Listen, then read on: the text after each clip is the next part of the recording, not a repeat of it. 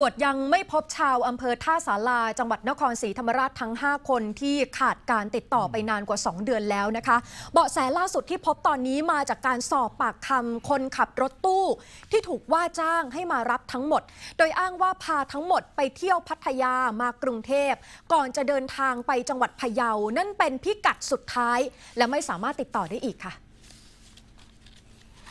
ศูนย์คนหายไทย PBS ได้รับแจ้งว่าชาวอำเภอท่าสาราจังหวัดนครศรีธรรมราชไม่สามารถติดต่อได้ โดยญาติได้แจ้งความเอาไว้ที่สพท่าสารา5 คนประกอบไปด้วย 1. นางอุสาปานรอดอายุ 43 ปี 2. นางสาวชนนิการโตชนก นักศึกษาราชพัฒสุราธานีอายุ 22 ปี 3. นางสาวยาสุมิน โจมฤทธิ์อายุ 22 ปี คนนี้เป็นเพื่อนของชนนิการ แล้วก็มีเด็กอายุ 13 ปีอีก 2 คน คือเด็กหญิงสสิประภารุจิต แล้วก็เด็กชายพรพิพัฒน์ป่านรอดนะคะ โดยญาติให้ข้อมูลบอกว่า วันที่ 23 เมษายน นายลมกรดแสงสว่าง ซึ่งเป็นแฟนของนางสาวชนนิการ หนึ่งในคนที่หายไป เป็นคนมารับทั้งหมด แล้วก็พาขึ้นรถตู้สีขาวทะเบียน 8997 จังหวัดอุดรธานีออกจากบ้านในอำเภอท่าสาลา พันตำรวจโทเกษมศิลป์จำปาทอง รองผู้กำกับการสืบสวนสอบสวนสพท่าสาลา ให้ข้อมูลกับไทย PBS บอกว่านายลมกรดไปเช่ารถตู้จากจังหวัดพะเยา มีนายนพดลแสงเมืองอิน ซึ่งเป็นเพื่อนของนายลมกรดนั้นเป็นเจ้าของรถตู้ แล้วก็เป็นคนขับรถตู้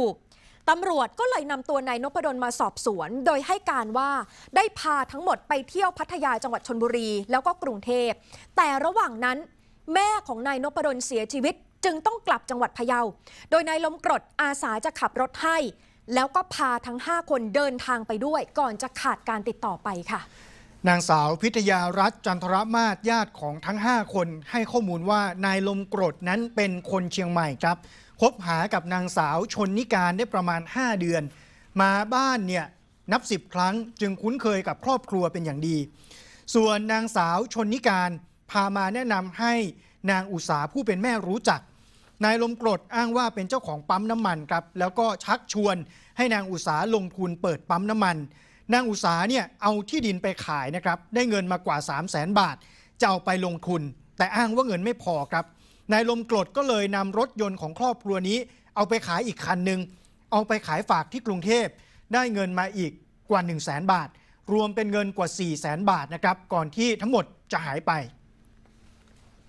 เพราะว่าทางครอบครัวก็ไม่รู้จะติดต่อทางไหนแล้วค่ะ ได้จากตำรวจมาก็มาเงียบหาย หลังจากนี้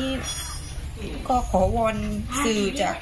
ทุกสื่อแล้วก็พี่ๆน้องๆทุกคนหากใครพบเจอ ช่วยชี้แจงให้หนูด้วยนะคะ ตำรวจนำตัวนายนพดลพร้อมรถตู้มาสอบสวนที่สพท่าสารานะคะ ซึ่งนายนพดลให้การว่าเขาเป็นเพียงคนขับรถ ไม่รู้เห็นกับการหายไปของทั้ง 5 คน